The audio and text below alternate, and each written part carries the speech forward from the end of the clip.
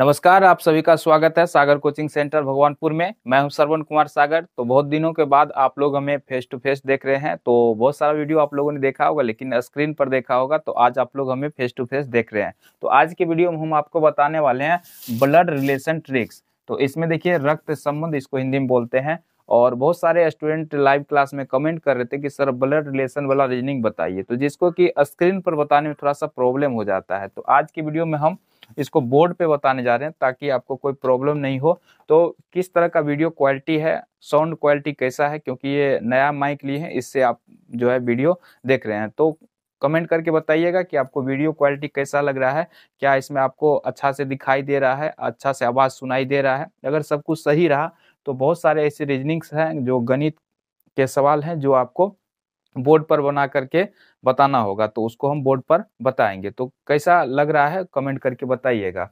तो चलिए एक सवाल लेते हैं, रीजनिंग का, जो ब्लड रिलेशन से लिया गया है, और इसको देखते हैं कैसे बनाना है।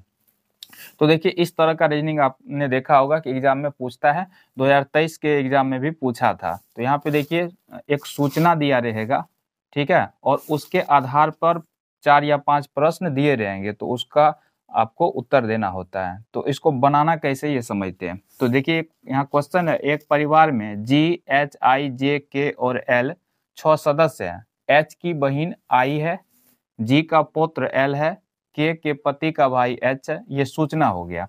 अब इसी के आधार पर ये पाँचों प्रश्न का उत्तर आपको देना है। तो इस तरह के प्रश्न को हल करने के लिए सबसे पहले क्या करेंगे? आप एक स्ट्रक्चर बना लेंगे। तो कैसे बनाना है? चलिए सीखते हैं।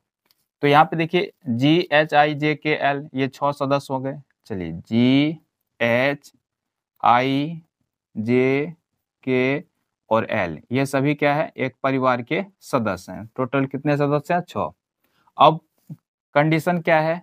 एच की बहन आई है। चलिए, यहाँ पे हम एच ले लेते हैं और इसका जो यहाँ पे आई है, ये क्या हो गया? बहन हो गया। तो इस तरह से लिख लेते हैं जो भी कंडीशन दिया है। फिर क्या कह रहा है? दूसरा कंडीशन है जी का पोत्र एल है। अब यहाँ पे मान लेते हैं जी है और इसका पोत्र। पोत्र मतलब होता है पोता, ठीक है? तो जी का पोता एल है। तो जी का पोता अगर एल है तो इसका मतलब जी का कोई बेटा भी होगा, जो हमें ज्ञात नहीं है। तो इसको इस तरह से चिन्ह लगा देते हैं कि चलो जी का कोई बेटा भी होगा, और उसका पोता हो गया एल चलिए, यहाँ तक हो गया। अब कहता है, के के पति का भाई एच है। अब कोई के है, ठीक है? और के का पति, इसका मतलब क्या हुआ? ये पत्नी है, ठीक है? और इसका पति कौन है? पति नहीं दिया हुआ के के पति, अब कोई इसका पति होगा जो हमें ज्ञात नहीं है। और इसके पति का भाई एच है, लेकिन ये पति का कौन एच भाई है। पति का एच क्या है? भाई है। बस इतना ही कंडीशन दिया हुआ था। अब हमें सबसे पहले तो ये देखना होगा यहाँ पर क्या होगा? यहाँ दो जगह खाली बच रहा है, इसमें क्या होगा? तो थोड़ा सा दिमाग लगाइए। देखिए, इसमें के दिया गया है एल भी आपको मिल गया, यहाँ जी भी आपको मिल रहा है और यहाँ एच भी मिल रहा है और आई भी मिल रहा है। कौन इसमें, कौन ऐसा सदस्य जो इसमें नहीं मिला? देखिए जे इसमें नहीं लिया गया है। तो इसका मतलब ये जो खाली जगह है तो यहाँ पर कौन बैठा हुआ है? जे बैठा हुआ ठीक है? तो निकाल लिए सभी छह सदस्य का। इसका मतलब जे यहाँ पर है तो एक ही जगह होगा कहीं जे तो इसका मतलब यहाँ पर जे जो है, जी का क्या हो गया? बेटा हो गया, ठीक है? अब इसको इसी में कर देते हैं। और ये एल जो है, जी का, जे का क्या हो गया? बेटा हो गया, ठीक है? इसका ये पोता है तो ये बेटा हो गया जे। देख लीजिए यहाँ पर, है ना? जी का बेटा जे और उसका पोता एल तो यहाँ पे इसको लिख देते हैं। चलिए, अब इसको हटा देते हैं या रहने देते हैं, कोई दिक्कत नहीं है। अब ये हमारा स्ट्रक्चर बन करके तैयार हो गया। तो इसी तरह से जो कंडीशन दिया रहेगा, उसका आपको एक स्ट्रक्चर बना लेना है। रफ करने के लिए आपको क्वेश्चन में ही जगह दिया रहता है। तो उसमें आपको इस तरह से कर लेना है। अब इसके आधार पर आप प्रश्नों का उत्तर दे सकते हैं। तो चलिए, पहला प्रश्न पे चलते हैं। पहला प्रश्न में पूछा गया है, आई का एल से क्या संबंध है? यहाँ पे एक चीज़ आपको और ध्यान रखना है। ब्लड रिलेशन में के और से इसको ध्यान रखना जिसमें के लगा हो या से लगा हो, उसके तरफ़ से आपको रिलेशन सोचना है, ठीक है? जिसमें के हो या से हो। तो यहाँ पर ध्यान दीजिए, पूछ रहा है आई का एल से क्या संबंध है? तो यहाँ से किसमें लगा हुआ है? एल में। तो एल के तरफ़ से हम सोचेंगे आई का संबंध क्या है? तो एल यहाँ पर है। अब एल से कहा जाना हमें? आई के पास, ठीक है? जिसमें से या के लगा वहाँ से सोचिएगा। तो एल से आई के पास जाना है। तो एल चलिए इसका ये हो गया पिता। पिता का भाई। तो पिता का भाई कौन हो गया? चाचा। और चाचा का ये क्या था? बहन। तो चाचा का बहन क्या होता है बताइए कमेंट करके आप लोग। चाचा का बहन क्या होता है? बुआ होता है है ना? तो ये हो गया, देखिए कितना आसानी से निकल गया। दूसरा प्रश्न देखिए। यहाँ पे कह रहा है, परिवार में कुल कितनी महिला सदस्य है?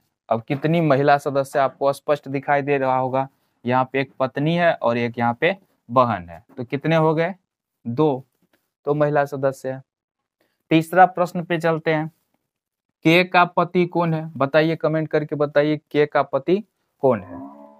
तो यहाँ पे देखिए, के का पति कौन है? तो के यहाँ पे है। इसका ये क्या था? बताए थे, ये पत्नी है तो ये इसका पति है ना? तो के का पति कौन हो गया? जे हो गया। जैसे ही आप स्ट्रक्चर बना लेंगे, आपको सारा का सारा प्रश्न हल हो जाएगा। और इसमें स्ट्रक्चर बनाना ही चाहिए आपको, क्योंकि इस सवाल में पाँच क्वेश्चन है और इसका मतलब पाँच नंबर आपको परीक्षा में मिलेगा। तो अगर इसमें दो तीन मिनट का समय आपको लग भी जाता है इसको बनाने में तो बनाना चाहिए, क्योंकि पाँच नंबर आएगा। तो एक क्वेश्चन में एक मिनट का समय तो मिलता है एग्ज़ाम में। यहाँ पर चौथा प्रश्न लेते हैं। जे का एच से क्या संबंध? देखिए यहाँ से किसमें लगा हुआ है? एच में। तो एच के तरफ़ से सोचिएगा। तो एच का जे से। तो एच यहाँ पर है और हमें आना है जे पर। तो यहाँ पे तो देखिए एच का जे कौन है? स्पष्ट है। कौन है बताइए? भाई है। चलिए अगला प्रश्न पे चलते हैं। जी का जे से क्या संबंध है? से किसमें लगा है? जे में। तो जे की तरफ़ से सोचिए जी का संबंध। जे किधर है? यहाँ पर। और इसका संबंध किससे पूछ रहा है? जे से संबंध पूछ रहा है जी का। तो जे यहाँ पे है और जी जे का जी कौन है बताइए? जे का जी कौन है बताइए? पिता है। ठीक है? जे का जी कौन हो जाएगा? पिता। तो कितना आसानी से इस तरह की रीजनिंग को हम हल कर सकते हैं और इसमें आपको पाँच नंबर मिलता है। तो ये हो गया पहला टाइप का, इसी टाइप का आपको एग्ज़ाम में पूछा जाता है। और चलिए दूसरा टाइप का भी आपको बता देते हैं कि दूसरा सिंगल वाला पूछता है तो उसको कैसे हल करना है। चलिए अब चलते हैं दूसरे टाइप के सवाल पे और यहाँ पर देखिए किस तरह से आपको पूछा जाएगा।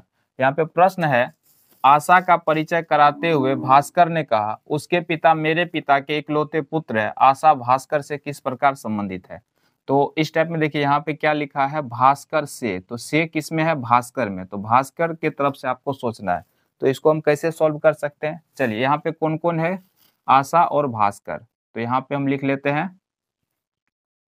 आशा आशा का परिचय करा रहा कौन? भास्कर। तो इसको इस साइड लिख लेते हैं ताकि आपको समझने में आसान हो। चलिए, यहाँ पे पहले कौन है? भास्कर और इधर है आशा। तो आशा का परिचय कौन करा रहा है? भास्कर। क्या बोलता है? कंडीशन इसको इस तरह से बना लीजिएगा, तब समझ में आएगा। भास्कर ने कहा, उसके पिता, यानी कि आशा का पिता। ठीक है, यहाँ पे लिख देते हैं, पिता। उसके पिता, मेरे पिता के, इसका भी कौन है? पिता। मेरे पिता के। इकलौते पुत्र है। इसका ये कौन है? पुत्र है। और कैसा पुत्र है? इकलौता। इकलौता मतलब एक ही बेटा है, ठीक है? इकलौता पुत्र है। आशा भास्कर से किस प्रकार संबंधित है? तो यहाँ पे देखिए, से किसमें? भास्कर में। तो भास्कर के तरफ़ से सोचिए। चलिए, भास्कर का ये हो गया पिता। अब भास्कर के पिता का जो है, पुत्र। तो भास्कर के पिता का पुत्र कौन हो गया? खुद भास्कर हो जाएगा। या भास्कर का भाई होता लेकिन कंडीशन यह है कि इकलौता पुत्र है एक ही पुत्र है तो इस कंडीशन में क्या हो जाएगा तब? आ, बेटा हो जाएगा है ना? तो यहाँ पे खुद कौन आ गया? भास्कर। ठीक है? अब भास्कर का ये कौन है? पुत्री है। यहाँ पे जो है इस, इसका पिता था तो भास्कर का ये कौन हो गया? पुत्री। तो यहाँ पे आंसर क्या हो जाएगा? पुत्री। देखिए कितना आसानी से निकल गया। तो इस तरह से छोटा सा स्ट्रक्चर बनाएँगे और उसके आधार पर प्रश्नों का उत्तर आप आसानी से दे सकते